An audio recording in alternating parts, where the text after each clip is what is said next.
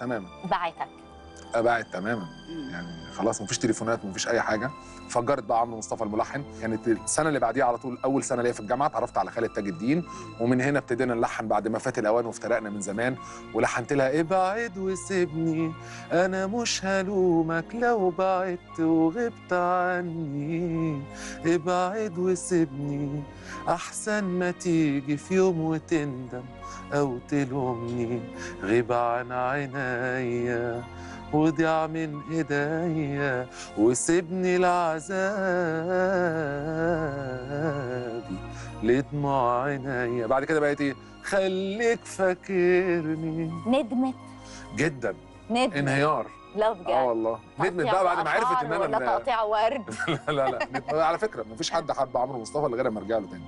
رجع له؟ آه مش غرور والله بس آه. دي حقيقة.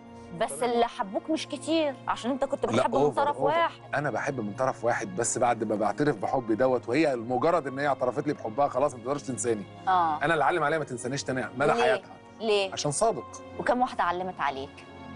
ما فيش كتير بقى لأن ما حكوا ساعتها ما كنتش أنا اكتشفت إن ما فيش حب أصلا.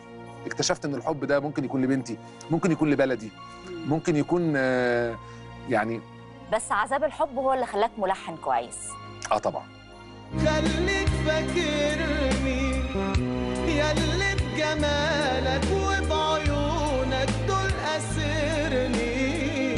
خليك فاكرني ونحس قلبك يوم بقلبي ابقى زورني.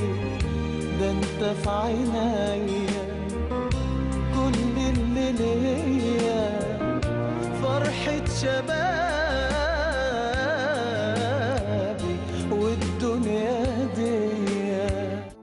أول أغنية اديتها لعمرو دياب خليك فاكرني. وراها منال. آه آه. دي حقيقة. كنت يعني وحبيته سنين طوال كانت ورا بعض آه، بس كان هدف ليك إنك أنت توصل لعمرو دياب. كان هدف طبعا ليا أوصل لعمرو دياب لأن دي كانت قصة حب ما بين منال وما بين عمرو دياب. آه كان بيحبها عمرو دياب لا قبلك لا لا. وإحنا في فترة ثانوي آه. كانت أغنية نور العين نزلت. أوكي.